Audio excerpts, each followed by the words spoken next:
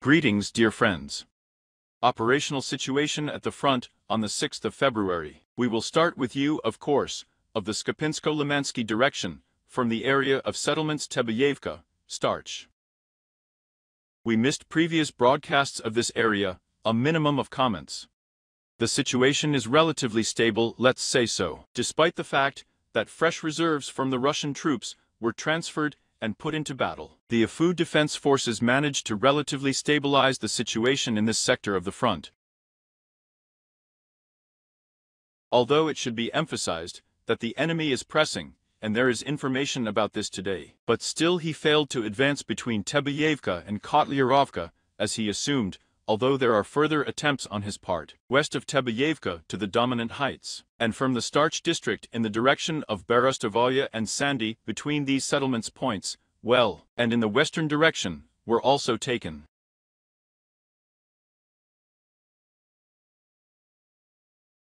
The fighting within the gray zone remains, and today has a positional character. Naturally, we talked with you, one of the tactics chosen by the enemy is of course, a work of attrition, and it continues. But again, we do not record any new advances, because relative stabilization has occurred in this sector of the front. Lyman Direction Here of course, we have talked with you, previous broadcasts, that the enemy is pressing not only in the area of Yarev, 3 Yarev, but also in the area of the round beam, mainly in the north direction, that is on its so to speak, green, that is, on a small landing. And unfortunately, today, we are recording the enemy's further advance. In this sector of the front, the eastern Turnev advanced in the area of the Kruglaya beam, in its northern part, northeastern, and accordingly, in the Laptev Yar. We have said that the main fighting is taking place in the center of the gray zone, and unfortunately, we are recording further progress in this area. Therefore, on a site up to 1 kilometer wide, to a depth of 420 meters, we record the enemy's progress. Also, the eastern Yampolovka managed to advance Yar, the fighting was going on, we discussed it with you two days ago. I'm snapping a frame from drones. It means that Russian troops, as you remember, with the support of three armored vehicles attacked the southern part of the Yar. And then these three units were shot down and destroyed. It was possible to repel this attack, but subsequently the enemy of the dream has already attacked, and continues to attack. That is, there are quite large forces involved in general, on this section of the front. Terny Yampolovka and Atorskaya are similarly involved. Therefore it also has an advance on a front section up to 600 meters wide to a depth of 450 meters. The difficult situation remains in this sector of the front, and active hostilities continue. At the same time, there is activity that we talked about in the previous days, this direction, let's say Torsky. So, Two fresh videos were published yesterday. The Russian troops are trying to pull up their armored vehicles as much as possible to the forward positions, or, more simply, to the junction with the gray zone, they managed to destroy it, knock out the area with drones about the area that we will have, that is, by geolinking frames from drones. But actually, it was logical that they would attack here, because it was also not so much their Torskaya that they were interested in, as in supplies, the supply road, to take control of the Rakata section, at least under partial fire control, even taking into account the fact that they could occupy some part of the Dalny Yar. This is quite possible, therefore, a bet is placed on it, and of course, they attack with the widest possible coverage. Between Yampolovka and Torsky, but we do not fix any changes here, it is possible to restrain the enemy, but I repeat, I used large forces. Bologorovka. Yesterday there were reports that the enemy is attacking again, attacking from the area of the industrial zone southeast of Bologorovka. The main effort is being made southeast of Bologorovka itself, not only the industrial zone but also the forest belt area. Active military operations in this sector of the front continue. As you remember, there was a very big bet on Bologorovka a few weeks ago on the part of the enemy. It was then possible to counterattack somewhere, to stabilize the situation somewhere. But the enemy does not abandon attempts to improve the tactical situation here and break through to the settlement itself. Therefore, the fighting continues actively. In the Bakhmut direction, the northern flank does not record any changes the positional nature of the fighting, including in Bogdanovka itself. The southern flank is between Ivanovsky and Kleshivka. Let's go right behind Ivanovskaya. A small section of the gray zone has been added, many may have noticed, because a lot of different information is coming, and it is contradictory, and at the same time, the enemy is yes, trying to gain a foothold in the direction of Ivanovska, along the forest belts, along one of the landings north of the highway, so now his small infantry groups are working on this site. So this the area was moved to the gray zone and remains under refinement because the enemy is now conducting attacks.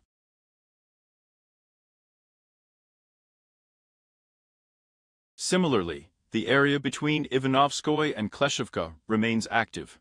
In general, it is natural that we have open fields where Russian troops are trying to break through to the forest belts, forest belts, and catch on, gain a foothold for them.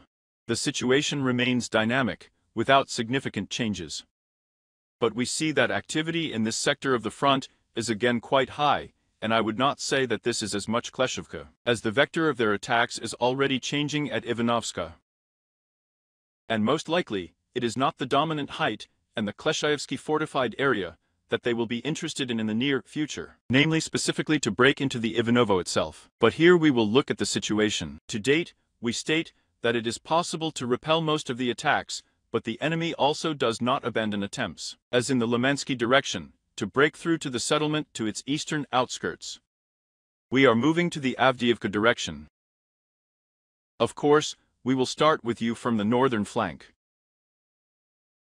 Yesterday, as you remember, I criticized a number of statements that supposedly everything is fine, stabilized. Allegedly the situation in the north of Avdiivka but in fact, the fighters from the field directly report that the situation is very very difficult because we just said on last night's broadcast that the Russian attacked the troops not only from the Garden Association Ivushka and Ivushka in the south direction, but also from the area of treatment facilities to the neighboring Garden Association are making a very big bet, and accordingly they are pulling up forces on this section of the front.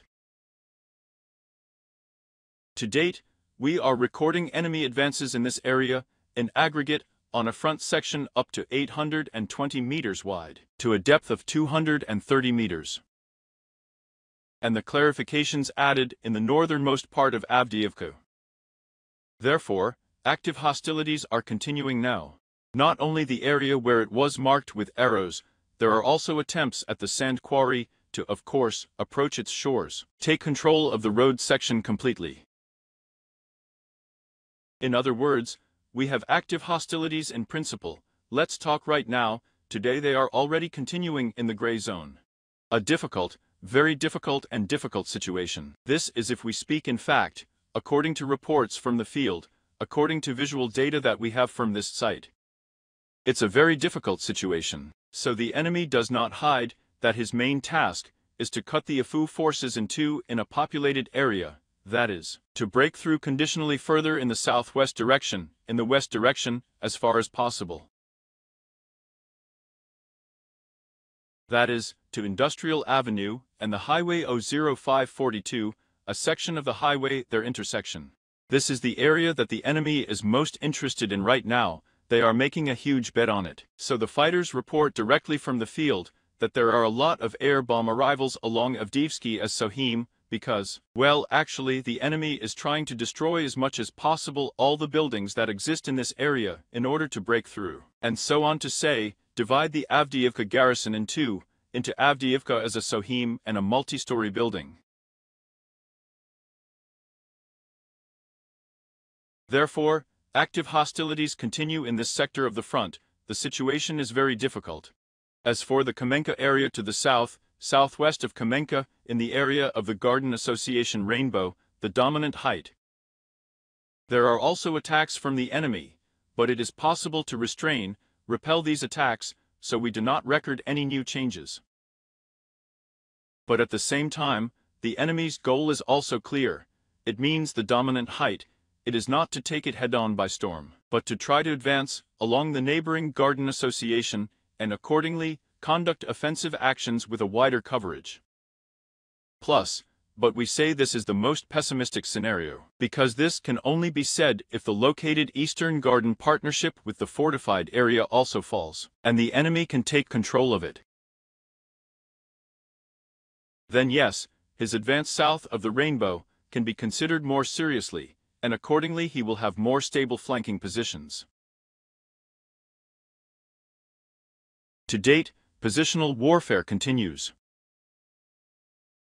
on the southern flank. It means that footage of a counterattack by Bradley was published here. Footage was published by the enemy, so we drove along Chernyshevsky Street, worked on one of the positions of the Russian troops. Bradley was blown up by a mine, but the entire crew survived. This is also an anti-tank mini. This is the difference between Western armored vehicles. It's not the first time we see such shots, but the crew remains alive, and most importantly, they retreated to their original positions. At the same time, a gray zone has been added, where the APU has worked, where there is definitely no longer a position of Russian troops. Therefore, the situation today looks something like this. But at the same time, these shots confirm and refute a number of statements that allegedly Russian troops were knocked out of Chernyshevsky, Sportivnaya and Sobornaya streets. No, oh, they are present, and combat work is going on in this area with varying success. Because if we speak for the southern flank, as yesterday, today I repeat, that it also turned out to stabilize the situation relatively. Although the enemy is very very pressing, and naturally, what is happening now on the northern flank of the Avdiivka direction. Northern Avdiivka, in its northern part, this naturally has a very very strong effect on the fighting. The events that we will continue to have, including on the southern flank, it is very important to understand. Because, of course, if the enemy manages to cut our garrison and create very very unpleasant moments, semi-vertigo.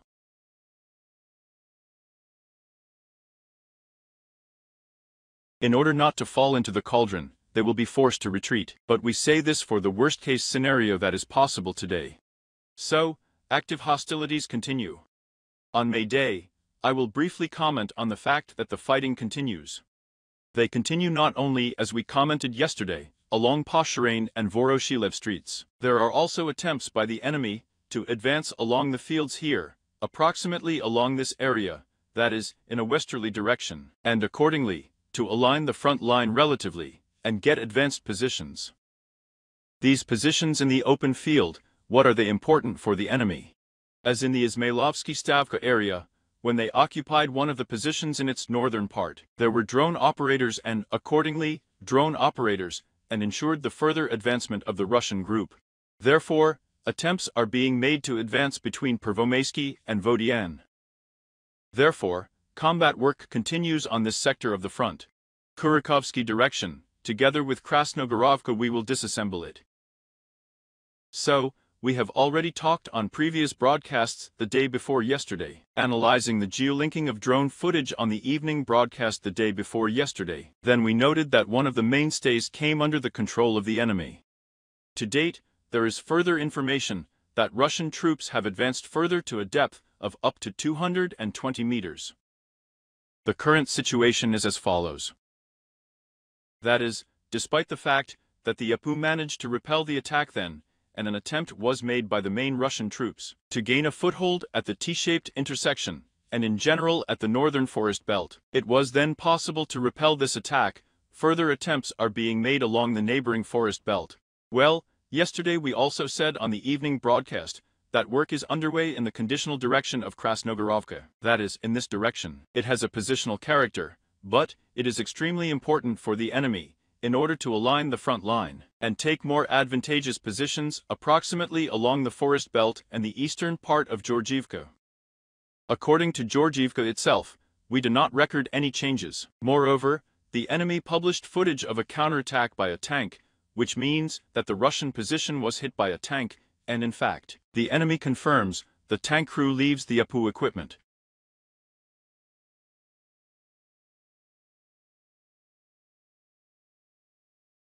Retreated to their original positions, the crew remained alive, which, as in the case of Bradley, is very very good. Therefore, unfortunately, we do not record any positive changes. But the most important thing is that the life of the warriors, they survived, retreated to their original positions. The enemy holds these positions quite firmly, as we can see, and as you can see, they are making counterattacks everywhere. So they are doing everything possible absolutely on the entire front to stabilize the situation. But the situation is very very difficult, let's be blunt.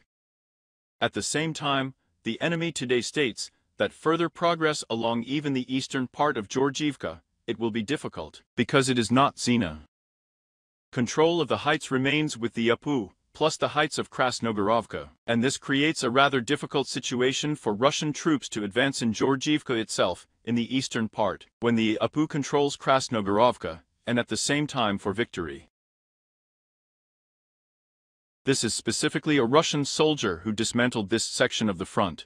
We discussed with you before, back in December, that I hardly consider Georgievka I only told you that they would trar, because it means everything that is south of the Georgievsky rate, there is a fairly large fortified area in the cellular partnership, and it will not be so easy for Russian troops to pass it, taking into account the specifics, taking into account the fact that there may be a flank strike from victory, so they will not be able to stretch out across the fields.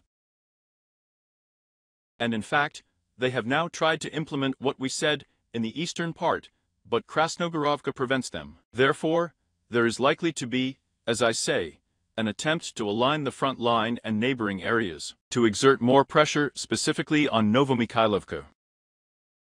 Well, we move on to the South Donetsk direction of Novomikhailovka. It means that yesterday evening, the enemy reported information that has already been confirmed to date by our sources. They attacked with large forces with the support of armored vehicles from the east, southeast, and south of Novomikhailovka there are attacks. The settlement itself, and according to reports, if we say what the enemy states, what he reports, they managed to enter the eastern outskirts of both the settlement and the southeastern outskirts. But actually, the fact that Russian sources have started writing a lot about it. This, in fact, caused some resonances, naturally on our part, including close attention to this section of the front, and everything necessary is being done to stabilize the situation. Therefore, the attacks continue, active hostilities on this sector of the front from the enemy continue. The only thing that has been added is that the gray zone, since the situation remains quite dynamic, and based on the information that is available, the Russian command is also transferring fresh reserves to this sector of the front and putting them into battle in order to develop success in east-southeastern parts of Novomikhailovka.